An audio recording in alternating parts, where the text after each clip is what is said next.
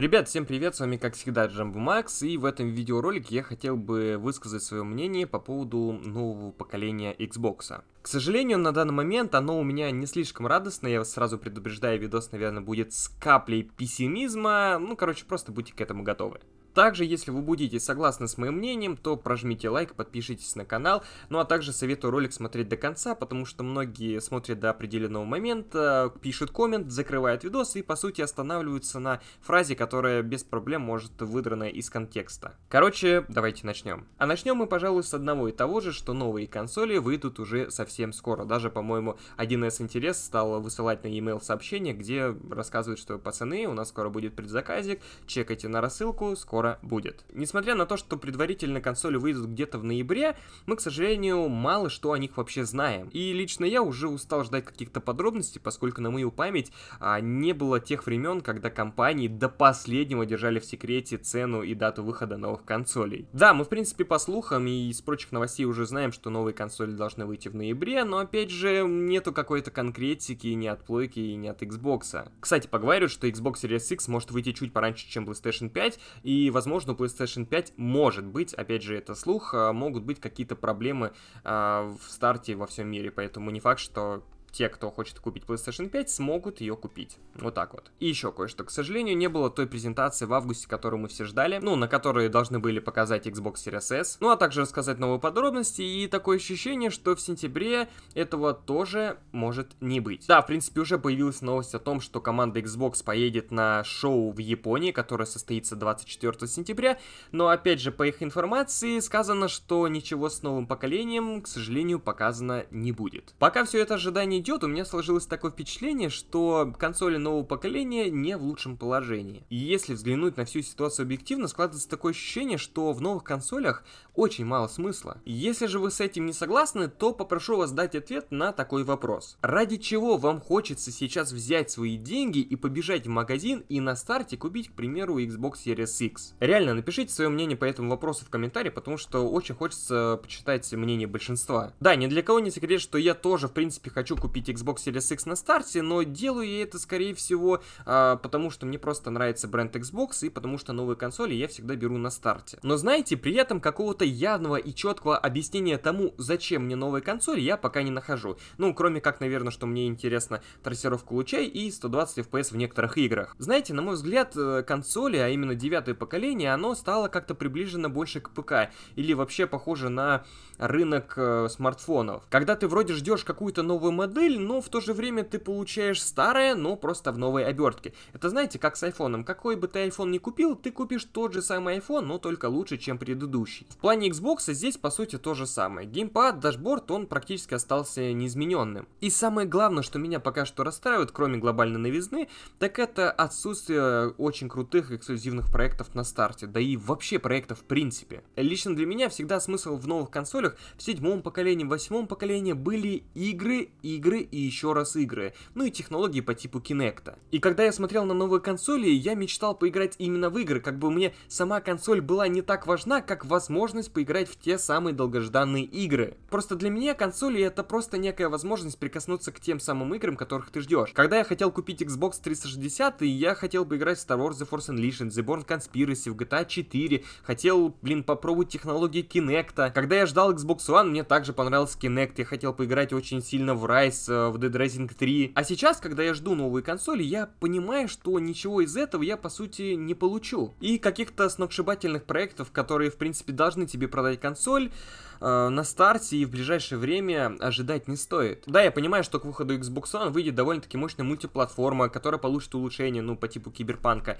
Но в эти игры я могу поиграть даже на фатке. Да, я прекрасно понимаю, что там будет очень низкое разрешение, будет мыло-мыльное, но оно мне, в принципе, не помешает получить удовольствие от самой игры, от геймплея, от сюжета и тому подобное. То есть, знаете, вот лично для меня не так важны а, тарафлопсы и 4К разрешения, как просто сама игра. Просто если новые консоли хотят многие купить ради 4К, то, по моему мнению, Xbox One X в данный момент неплохо с этим справляется. Майки, как по мне, понимает всю суть этой проблемы, и поэтому некоторые игры они не выпустят на Xbox One. Но, как по мне, опять же, э, какого-нибудь медиума, еще какой-нибудь игры, это будет мало для нового поколения, очень мало. Несколько видосов назад я поднимал тему того, что новые консоли, скорее всего, выходят слишком рано, и, в принципе, со временем я эту теорию для себя подтвердил. Next Gen не готов, а каких-то новых проектов показали очень мало. И знаете, во всем этом разочаровании, наверное, масло в огонь больше подливают обещания и высказывания команды Xbox. Я, в принципе, прекрасно понимаю, что это проблема, проблема нас с вами, поскольку наши ожидания наши проблемы,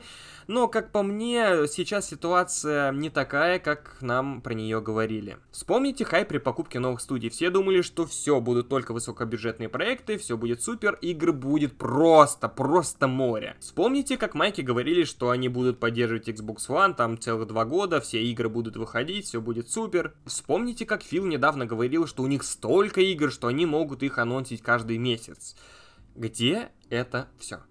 Где? Да, я опять же прекрасно понимаю, что это бизнес, и как бы они просто высчитывают, что им выгодно и что невыгодно, но так или иначе, вот эти вот обещания, высказывания, они немножко портит впечатление от э, исхода ситуации. Единственное, пожалуй, о чем майки говорят, и это действительно есть, так это некий технологический прорыв в консолях, что вот, ребята, у нас 12 терафлопс, вы будете получать там 4К и 120 FPS в некоторых играх. Но, к сожалению, то самое железо, те самые терафлопсы, они дают нам лишь разрешение и количество кадров в секунду, но никак не сногсшибательные проекты. Тут на самом деле можно отчасти кинуть респект Sony, поскольку они очень мало говорят и просто делают уклон на игры. И в принципе они умеют и продают свой продукт. Несмотря на то, что многим кому-то там не нравится что-то в PlayStation, у них все равно есть явные плюсы, ради которых многие игроки хотят купить именно эту консоль. Э, типа, если вы хотите играть в Ratchet Clank или в новый Spider-Man, ребят, ваш выбор PlayStation 5, и с этим не поспоришь. Почему майки не делают так же, без понятия. Возможно, у них вообще просто другие цели а, касаемо подразделений Xbox, а возможно и внутренние проблемы. Так как если мы вспомним ситуацию, которая произошла с Halo Infinite, складывается такое ощущение, что Фил, разработчики и маркетинговый отдел, это три вселенные, которые вообще никак не пересекаются. До июля нас уверяли, что с Halo Infinite все хорошо, что она выйдет в день старта Xbox Series X, то есть с ней вообще нет никаких проблем. Потом же, после показа, ее перенесли. На мой взгляд, данное решение однозначно верное, потому что то, что показали, оно не соответствует даже 2020 году. То есть э, такое выпускать на новом поколении, ну, реально немножко стыдновато. Но опять же, в этой ситуации лично меня немножко задевает это высказывание и обещание до той самой презентации. Если бы изначально после коронавируса ребята сказали, типа, пацаны, у нас вот не готов проект, да, чтобы он выглядел очень круто, нам нужно время. Это было бы нормально, все друг друга поняли, и это как бы обычная практика. Но все почему-то пошло наоборот. Сначала они показали, и когда, в принципе, аудитория стала негодовать, что графон как бы не соответствует нашему времени, они поняли, что, ну да, ребят, как бы они не схавали, нужно что-то переделать. В принципе, во всей этой теме нового Xbox а, единственный плюс, так это то, что на него все-таки выйдут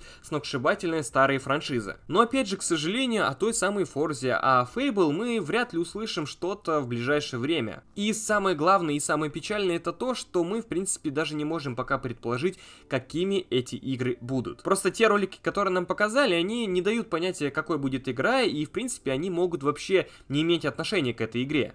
Просто вспомните ситуацию с тизер-трейлером Halo Infinite. Поговорили, что тот самый первый тизер-ролик, который был выпущен, по-моему, на E3 2018, он ничего общего с игрой не имеет, и он был сделан на аутсорс. Но хотя там была пометка, что это сделано на движке игры, хотя, в принципе, возможно, что это не так. Я в данном видосе ни в коем случае не хочу сказать, что Xbox мне как-то перестал нравиться, что я его там перестал ждать, там уйду на плойку, нет. На мой взгляд, у Xbox все равно остались те плюсы в виде обратной совместимости, в виде Xbox Game Pass, но, как по мне, для для нового поколения это все-таки мало. И лично для меня, как позиционируется и как продвигается новая консоль, выставляя на передний план технические характеристики и те самые тарафлопсы, не выставляя самого главного, а именно игр, ну, как-то выглядит плачевно и прям печально. Ибо самое главное, поймите, мы играем не в мощь, а в те самые игры. Да, я прекрасно понимаю, что многие клюют на выражение «мощнее значит лучше», но после покупки новых консолей многие, скорее всего, начнут понимать, что новых игр, каких-то реально крутых игр под ту самую мощь,